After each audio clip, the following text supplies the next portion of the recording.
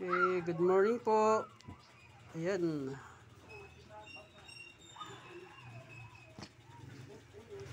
Hmm, kitang pa.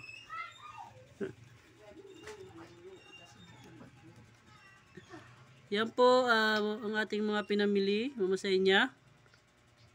Para po dun sa ating ah, papamigay sa mga bata. Yan po ay pulbo ano, dosena. Para sa mga babae yan.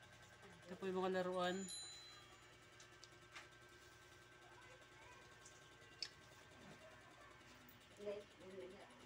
Yan po isang box po yan. Anim na piraso ang laman po niyan. Marami po yan kasi anim ang isang box. Ito po mga panglalaki.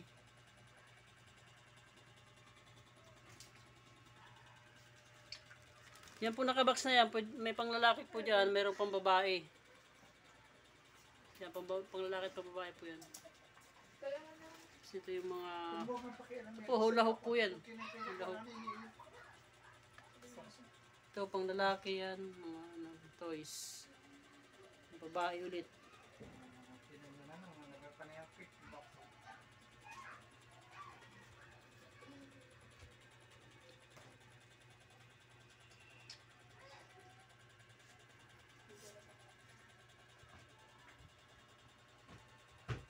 Okay, yan po lahat ang ating ah, mga napamili.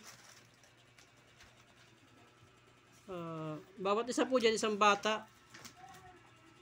Tapos isasabay po natin dito yung ano, isasabay po namin dito yung mga sapatos. Isang bata po yan, isang laruan, tapos meron siya lang isang pares na sapatos, yung black, yung pang school, na pampasok nila na sapatos. Yung kinuha po namin kahapon dun sa sponsor, yan, ipapares po namin dyan para dalawang klase yung makukuha nilang items.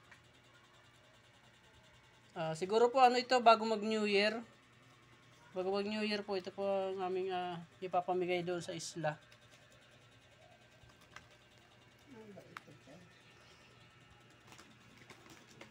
Yan, may yoyo. Yan, ring. May kasama na siyang bola. Kala ko ba 17 na dati? Yan, ito po, maganda po ito, ano? Bagong ano po ito ngayon. Ah, pang display lang po siya. Yan ay lime, lime mayroon siyang lime sa baba. Yan po ay ah, pang display, maganda siya pang display pang lalaki. Tapos meron din yan pang babae. Yan po yung pang babae. May laruan sa loob. Mga bagong labas. Yan po. So, shoutout po kay Mama Senya Vlog, ang ating sponsor para sa pamimigay ng laruan. Siya po ang nagbigay sa atin ng pambili ng laruan. Tapos ipapartner po natin yung sapatos para dalawang klase ang kanilang makuhang items. Yun lamang po, salamat! Shoutout sa ating uh, Kogos team sa pamanguna po ni Mama Senya Vlog. Yan si Pink Girl Life in Canada, Libok TV, Chinese Yuta Vlog, Ilongga on the Farm, Bisaya ng Australia, Ate Yoli Vlog, at si Sir Robert Alboladora. Ito po maraming laman ito. Mga robot, mga, mga sundalo. Yan, marami pong laman ito. Nasa 100 yata ito. 200 pieces po ito sa ang laman sa isang balot. Ito naman po, yung parang pulis apat na piraso sa isang ano, isang balot. Yan. Shoutout din po kay ah, Kuya Val. Yan, Kuya Val Santos Matubang.